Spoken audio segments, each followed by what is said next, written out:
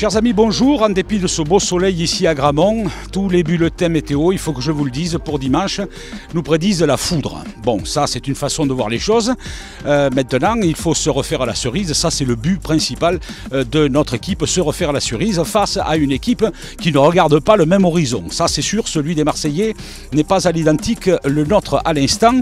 Encore que, à bien y regarder, même si euh, les objectifs des uns et des autres ne sont pas comparables, c'est vrai, nous avons déjà perdu deux fois cette saison contre l'Olympique de Marseille en coupe le 29 janvier dernier au début de l'exercice.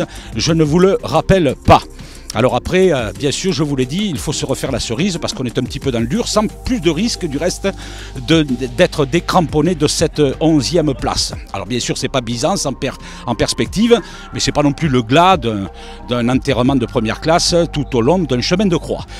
Après, à bien y regarder, ma foi, il va falloir se dire que si nous n'avons pas les faveurs du pronostic, nous avons quand même, bon sang de bonsoir, gagné 5 fois à l'extérieur pour, c'est vrai, c'est un bémol, deux seuls matchs nuls depuis le début de la saison hors de nos bases. Quant aux Marseillais, quand même, pour dauphins qu'ils sont, ils sont des dauphins chassés par euh, des inarrêtables Rennais qui vont recevoir Reims et par euh, des surprenants Strasbourgeois qui, eux, recevront Lyon. À bien y regarder, Marseille, quand même, n'a pris que 23 de ses 56 points au stade Vélodrome, avec 5 matchs nuls, donc des matchs nuls contre Bordeaux, contre Reims, par exemple.